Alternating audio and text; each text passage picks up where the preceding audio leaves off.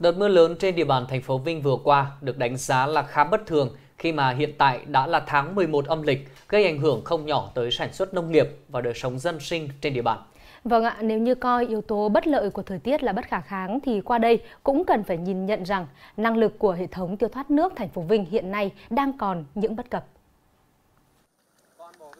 Mặc dù mưa đã ngớt từ đêm hôm qua, tuy nhiên hiện tại nước rút rất chậm khiến cho việc khôi phục sản xuất gặp nhiều khó khăn. Tại xã Nghi Liên và Hưng Đông, vùng sản xuất rau màu hàng hóa, hoa cây cảnh lớn nhất thành phố Vinh, chỉ một đợt mưa lớn này, nhiều diện tích đã bị hư hại hoàn toàn. Nguyên nhân thì do cái quá trình đầu tư phát triển kinh tế xã hội và đặc biệt là ở đầu phía đầu phía nam của xã Nghi Liên thì khi đầu tư cái bệnh viện ung bướu đã phá hủy hoàn toàn cái hệ thống mương thoát nước ở đây và nó ảnh hưởng đến cái việc tiêu thoát nước ở các cái vùng phía nam của của của của, của Nghi Liên, đặc biệt là cái xóm Nam Liên ngày theo thống kê hôm qua là có đến khoảng trên 50 hộ dân bị nước ở trong nhà. Qua thống kê thì hiện nay là thì có khoảng 20 hecta rau màu, rồi 10 hecta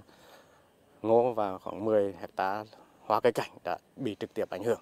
Cơ bản là cái đường ờ, trong khu dân sinh, khu dân cư, các đường ngõ xóm là nó ngập lụt. Từ đó thì học sinh không thể đi học được, nhiều người công nhân cũng không thể đi làm được thì do ảnh hưởng cái mực ngập lụt ảnh hưởng đến cái công tác đi lại giao thông bà con. Còn tại khu vực nội thành, đợt mưa này đã gây ngập úng diện rộng hơn so với các đợt mưa trước đó.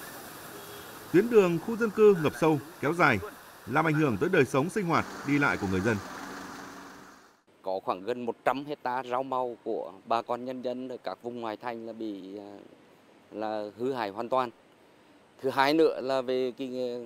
ờ, ngập úng cục bộ trên các cái tuyến đường trên địa bàn ờ, khối xóm của toàn thành phố. Thì ờ, qua cái đánh giá sơ bộ thì chúng tôi là thấy là có khoảng là 1 phần 3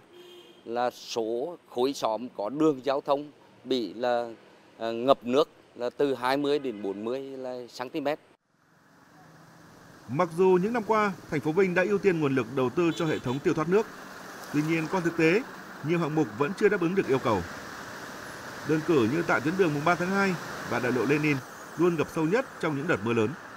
Trong khi đó, kênh tiêu kênh Bắc với chức năng tiêu nước cho cả vùng này lại chưa thực sự phát huy hiệu quả. Do hệ thống mương dẫn nước hai bên tuyến đường này đang có vấn đề về thiết kế dù mới được thi công.